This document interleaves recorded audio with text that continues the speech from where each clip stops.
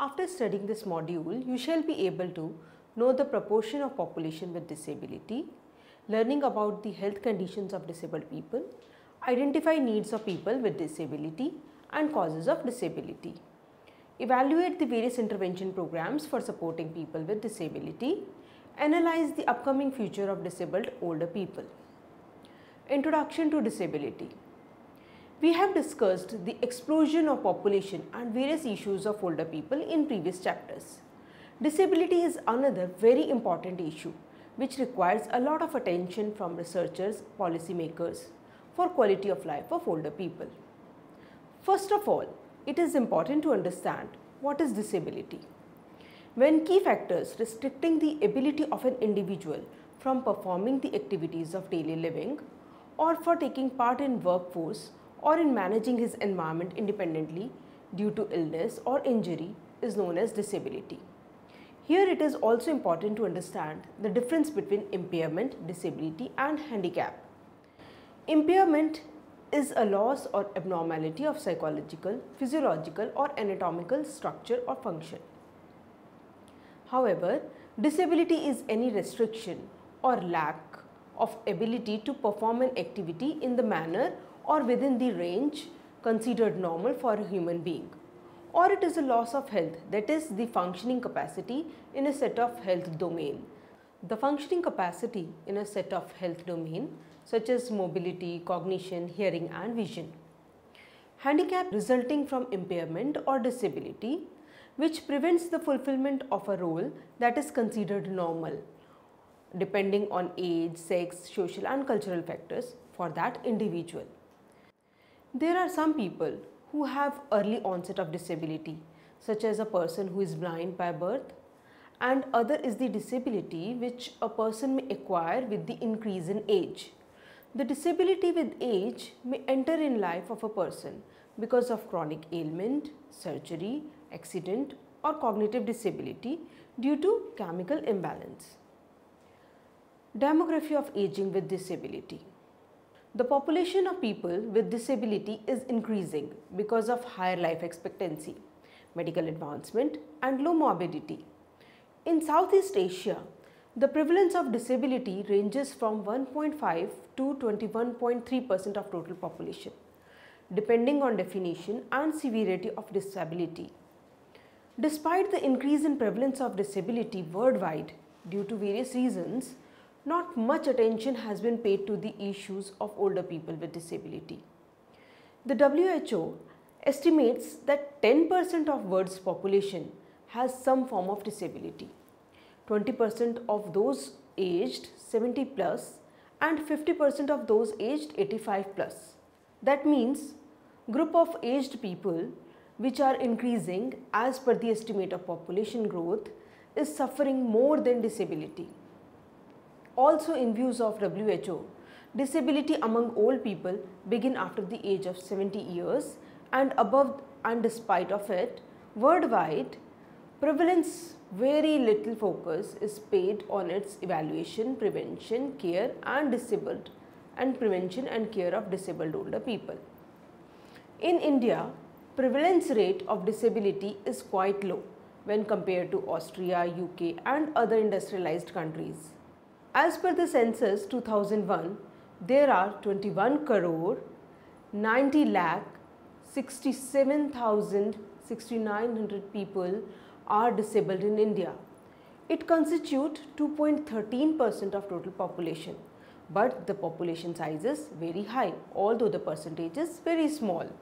Data shows that among them 12 crore 60 lakh 56,000 are males and 93 crore 1134 females and this include person with visual hearing, speech, locomotor and mental dis disabilities. In India state that highest disability is in Chandigarh and Andhra Pradesh. Assam is lowest in rate of disabilities. Now let's discuss the common causes of disability in old age. Chronic diseases, injuries, mental impairment, malnutrition, HIV, AIDS and other communicable diseases are the most common cause of disability among older people. The major chronic ailments include cardiovascular diseases, hypertension, stroke, diabetes, cancer, chronic obstructive pulmonary diseases, musculoskeletal conditions including arthritis and osteoporosis, mental health conditions such as dementia, depression and blindness, visual impairment. These all are the factors behind disabilities. Sometimes injuries can be due to accident or road on road, conflicts, falls, landmines also cause disability. Certain chronic conditions are particularly related to disability. Include stroke, diabetes, cognitive impairment, arthritis, visual impairment. Mental health problems, especially depression, can cause disability because the person usually lives in isolation and excessive intake of smoke, alcohol lead to osteoarthritis, alcohol abuse and lung diseases in elderly. The disability rate in India is expected to increase rapidly during 1990 to 2020 due to non-communicable diseases and injuries. It is predicted that communicable diseases reduce to nearly half from 1990 to 2020. However, there will be an increase of 40% in non-communicable diseases such as cardiovascular and stroke. Half the disability rate from non-communicable disease for South Asia are estimated to be due to neuropsychiatric disorders, mainly mental illness and mental retardations. Mental disability usually occur in childhood. However, visual disability increases with increase in age. In old age, people suffer from cataracts, glaucoma and other visual problems. In the absence of timely treatment, it causes visual impairment in old age. Similarly, hearing impairment is also very prevalent in old age. In the absence of awareness and social stigma, people avoid accepting the hearing difficulties and use of hearing aids as a solution of the problem. Government is running awareness campaigns and free checkup camps for dealing with visual and hearing disabilities. Locomotor and speech disabilities usually occur in younger ages. Now let's discuss the gender differences in disability. Feminization of aging we have already discussed in previous chapters. The women elderly outnumber men elderly all across the world. In disability too, women suffer more from disability as compared to men. Some trends are found in UK, Canada, Spain, Mexico, Netherlands. Older women population is marked with illiteracy, poverty and dependence worldwide. Combine, combination of these factors with longevity result into higher number of disabled older female. Research is done by Murray and Arkwright shows the exception. They found that in sub-Saharan Africa, severe disability is associated with higher rates of mortality among both men and women. However, in most of the countries of the world, women survive longer than men and suffers more from disability. Let's discuss the poverty with disability. There is a strong relationship between poverty and disability.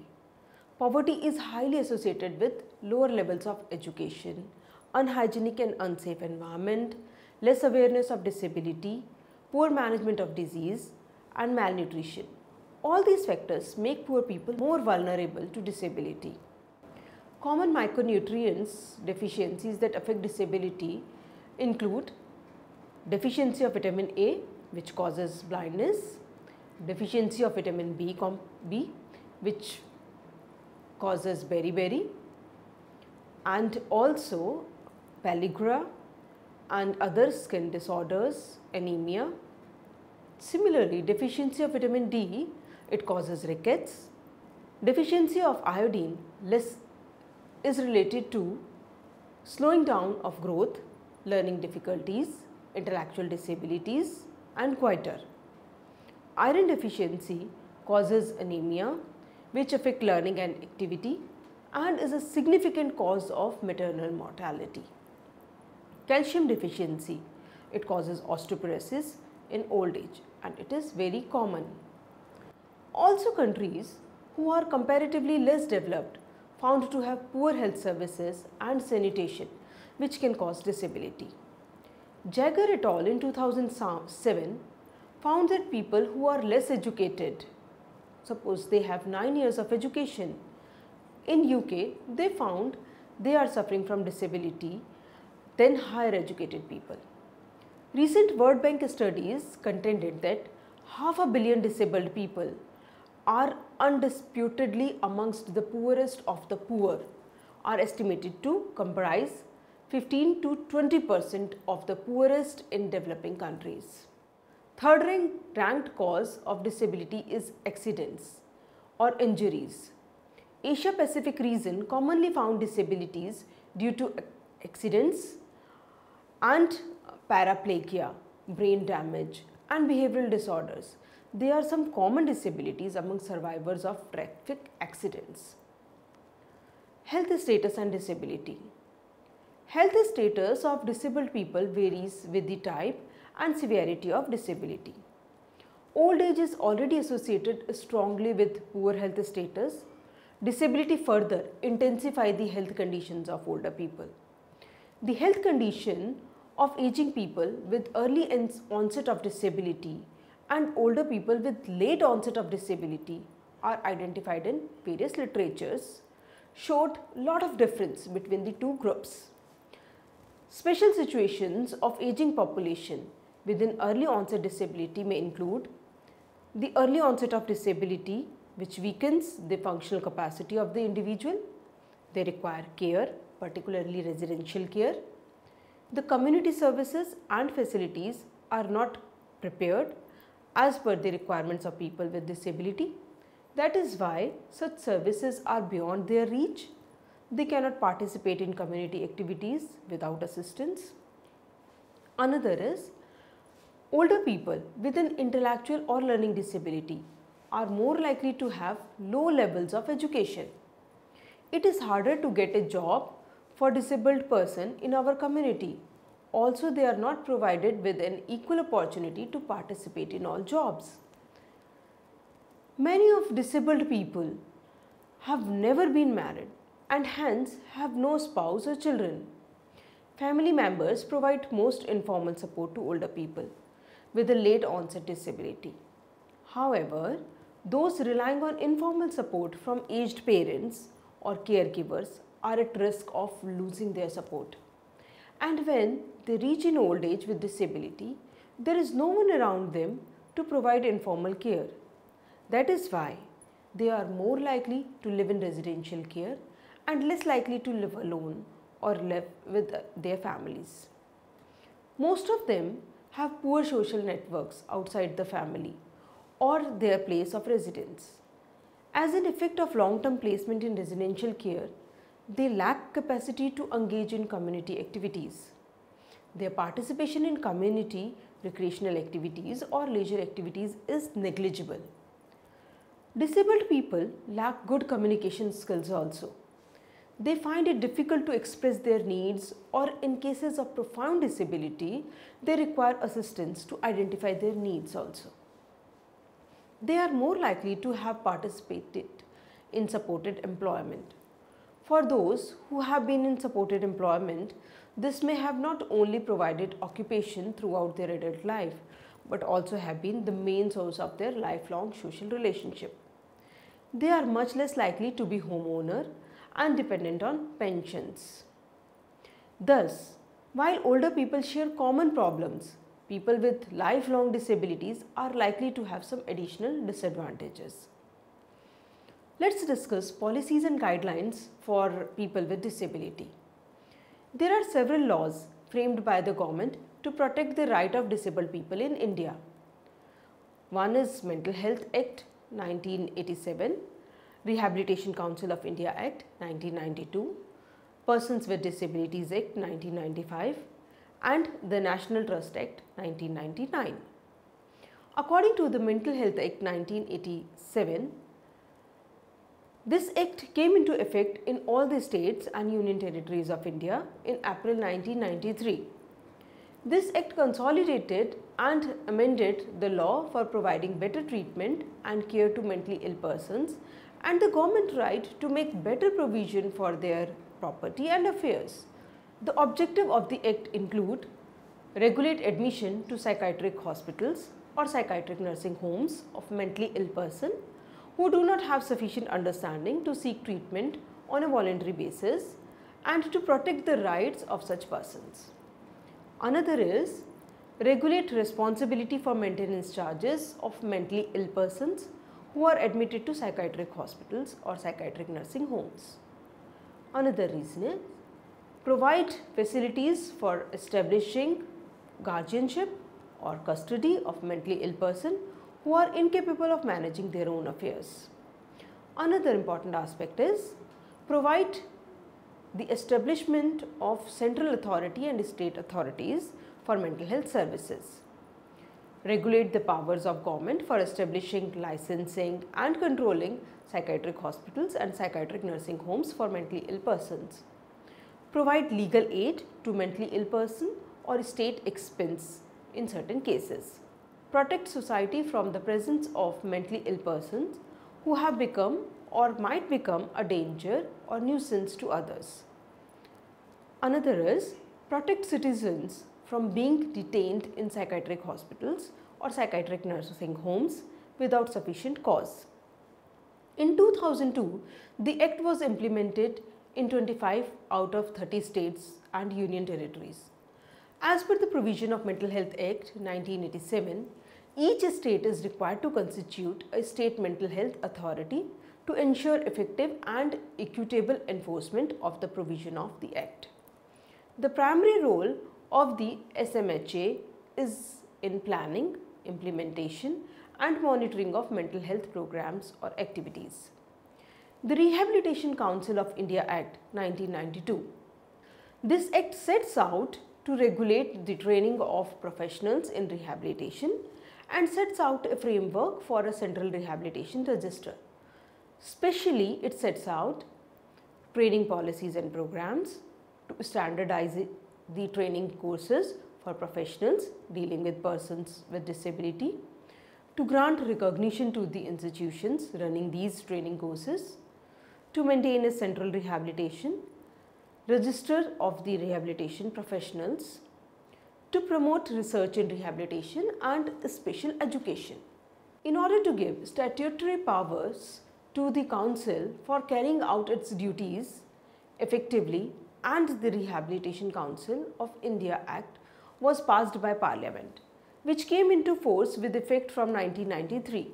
The amendment in the Act in 2000 gave the additional responsibility of promoting research to the Council. The major functions of the Council include the recognition of qualifications granted by universities in India for rehabilitation professionals and also the recognition of qualification by institutions outside India the Person with Disability Act 1995. This act provides 3% reservations for disabled people in poverty alleviation program, government posts and in state educational facilities as well as other rights and entitlements. The specific objective of the act are prevention and early detection of disabilities, education, employment, affirmative actions, non-discrimination, research and manpower development, recognition and institutions for persons with disability, institution for persons with severe disability, the Chief Commissioner and Commissioners for Person with Disability, Social Security. A study conducted by Disability Knowledge and Research Group in India assessed the impact of this act and tried to evaluate its implications. It was found that those eligible had difficulties in obtaining disability certificates. Benefit entitlements varied across the India and that only 3% had received monetary support from the government on a regular basis. The National Trust for Welfare of Persons with Autism, Cerebral Palsy, Mental Rehabilitation and Multiple Disabilities Act 1999. This act provides for the constitution of a national body for the welfare persons with autism, cerebral palsy, mental retardation and multiple disabilities. The main objectives are to enable and empower persons with disability to live as independent and as fully as possible within and as close to the community to which they belong. To strengthen facilities to provide support to persons with disability to live within their own families, to extend support to registered organizations to provide need-based services during the period of crisis in the family of persons with disability, to deal with problems of persons with disability who do not have family support. National Policy for Persons with Disability Act 2005 The national policy released in February 2006 recognizes that persons with disabilities are valuable human resources for the country and seeks to create an environment that provides them equal opportunities, protection of their rights and full participation in society. Its aim is to ensure better coordination between various wings of the state and central government. The focus of the policy is on the following points. Prevention of disability, rehabilitation measures, physical rehabilitation strategies, counseling and medical rehabilitation, early detection and intervention. In addition to the legal framework, extensive infrastructure has been developed in India for disabled people under this act and includes the establishment of the following institutions. Institute for Physically Handicapped in New Delhi, National Institute of Visually Handicapped, Dehradun, National Institute for Orthopedically Handicapped, Kolkata, National Institute for Mentally Handicapped, Secunderabad, National Institute for Hearing Handicapped, Mumbai, National Institute of Rehabilitation, Training and Research, Cuttack, National Institute for Empowerment of Persons with Multiple Disabilities, Chennai.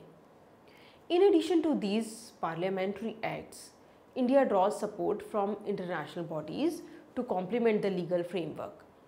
It is a signatory to the Declaration on the Full Participation and Equality of People with Disabilities in the Asia Pacific region. The Biwako Millennium Framework for Action toward an Inclusion, Barrier Free and Right Based Society. And India is currently participating in the negotiations on the UN Conventions on Protection and Promotion of Rights and Dignity of Persons with Disability. Disability and Rehabilitation WHO Action Plan 2006-2011 Documents provides the overview of WHO's future plan of activities which will be carried out or coordinated by the disability and rehabilitation teams located in the Department of Injuries and Violence Prevention in the non-communicable disease and mental health. One of the four strategic areas of the Biwako Millennium Framework is the development of the national system of disability related data collection and analysis and the establishment of definition of disability which would enable internationally comparable analysis. It, its 2004 survey in India revealed the following. Limited information on the definition of disability, limited information on access to education to disabled people, no mention on disability in the Indian constitution, no standardized sign language. The management and treatment of disability. The various organizations such as WHO, UNESCO and International Labour, Labour Organization used different approaches to deal with problems of disability. WHO is working in the area of medical rehabilitation. UNESCO is promoting inclusive strategies in education for people with disability. ILO is opening gates for disabled people in work sector and UNICEF is trying to prevent it in children through immunization. The organizations who are working in the field of reformation are adopting different approaches to deal with the issues of disability. The main reason for the absence of holistic care and treatment program is the absence of people with disability in decision making and policy formation programs. Overall burden of disability in India is 20.9 percent but the proportion of expenditure on programs for people with disability is less than 1% in 1990 and surprisingly there was a reduction in the expenditure from 2001 to 2006 from 0.07% to 0.04% of total allocation in the budget for people with disability. It shows the indifferent attitude of the government toward disability. At present, healthcare provisions are focusing on outpatient departments in from various institutes working for treatment, rehabilitation, education of disabled people. Through outreach services, communities are sensitized on early identification, prevention, intervention and rehabilitation of the disabled. Technical know-how and information are also provided to NGOs on infrastructure requirements for establishing service centers for disabled people. Let's discuss gaps to be filled in in treatment of disability. One is surveillance system. There is a big gap in the actual population of people with disability and the data available to the government. There are several reasons for underreported cases of disability. One of the biggest reason is lack of comprehensive definition of disability because of which people have different opinion on disability and discrepancies found in conceptualization of the term disability. Second reason is the social stigma which is attached to disability. People shy to report it. Third big reason is lack of national level registrations and identification system for people with disability. Another point is care system. There is a need to develop a care system at primary and secondary level for people with disability. A systematic and organized system is required for management and treatment through various types of community-based rehabilitation services. An evidence-based care system should be developed and guidelines should be formed to provide diagnosis, treatment plans, understanding of causes and preventive measures for better management of disability. Coordination of research programs. Several NGOs like Manovikas Kendra in West Bengal, Handicapped Development Foundation Manipur, Mobility India Uttar Pradesh, Disability India Network DIN, Disability India for Information Resources DIIR, conducting research activities on disability. There is a need to identify, coordinate such organizations and actively involve them in policy formulation, planning, implementation, monitoring of disability in India. In summary, the estimated cases of disability are higher than reported because of lack of national registration policy, inadequate awareness and social stigma. Along with feminization of aging, there is feminization of disability among older people. Poverty is highly correlated with disability. The needs and issues of older people with disability are different from older people without disability. There is a lack of positive and supportive attitude of government toward people with disability. Although there are few national level programs run by government for people with disability, but they are inadequate and insufficient a lot need to be done to provide an inclusive environment to people with disability.